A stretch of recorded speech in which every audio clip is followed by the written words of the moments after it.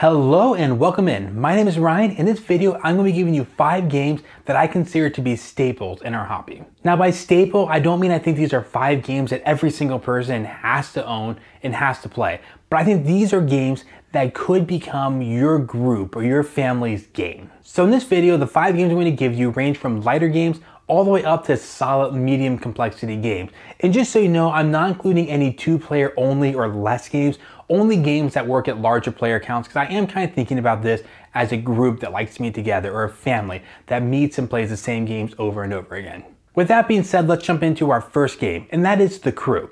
The Crew is an absolutely awesome little game that just contains a deck of cards and then a deck of smaller cards with a simple idea of taking tricks. Now, lots of us have played trick taking games, maybe something like Rummy or Hearts before, where the high card of the suit wins.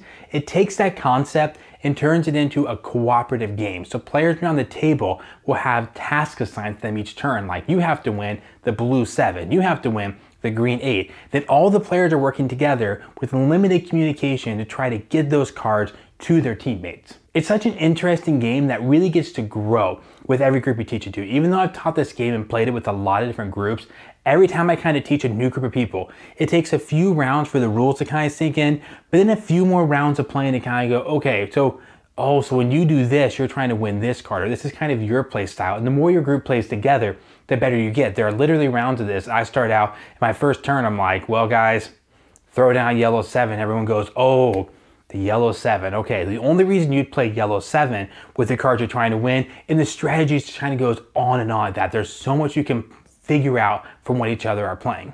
Our second game is going to leave completely behind any feeling of classic card games and jump into camel racing. Camel Up is a really fun and funny game where there is a camel race going on around the board. But you are not a camel. You're not a camel trying to get around the racetrack first.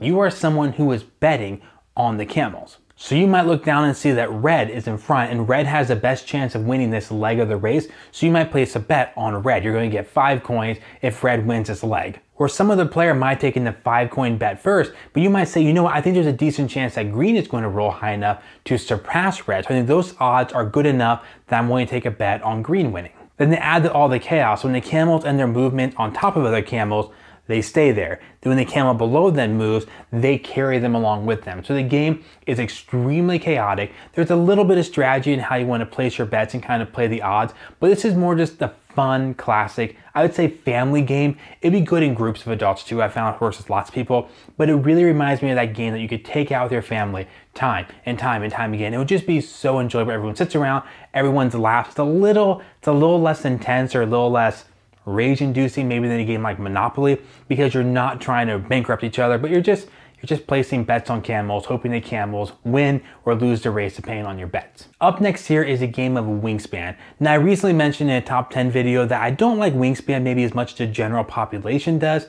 However, that being said, I still like the game and it fits this list so well. One of the reasons I really want to put Wingspan on this list is because it's a really good game for a certain group of people. People who maybe want to play a game want to have good time with their friends and family, but can often kind of get frustrated or angry by the outcome of the game.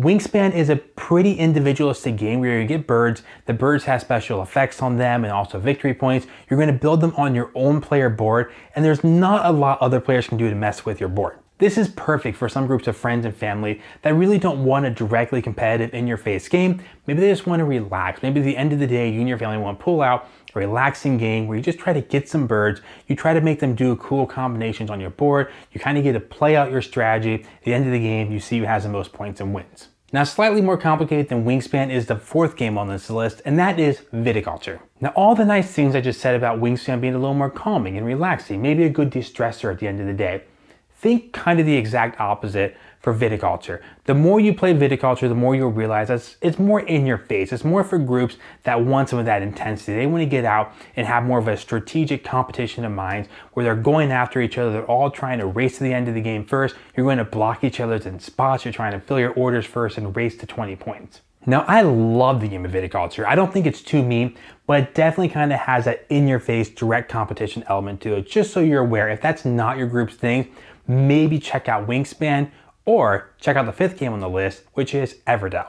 For me, Everdell falls somewhere in the middle of the two games. It's not as hands off as Wingspan, but it's not quite as mean and punishing as Viticulture can be.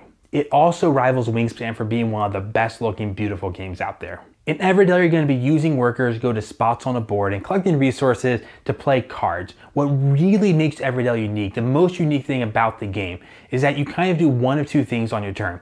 You can place a worker on the spot on the board, or you can place a card, buy card, pay for it basically, and put it into your little city, your area in front of you that can hold a total of 15 cards.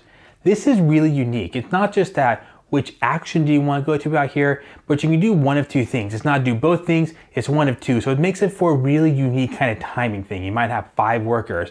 You might for three turns in a row place a worker and then line yourself up where for the next three or four turns, you're just going to play a card. Now Everdell along with Viticulture are a step up in complexity from Wingspan, but none of the games on the list today are in that super high category of extremely complicated. And I kind of did that on purpose. I'm thinking more a staple game that you and your family can buy and take out again and again and again over maybe years of playing. And so maybe this list doesn't lend itself great to really, really complex games. All right, thank you so much for watching the video. If you enjoyed it, please hit the like button down below as that helps the channel out. Also, if you want to subscribe, you'll see more videos like this.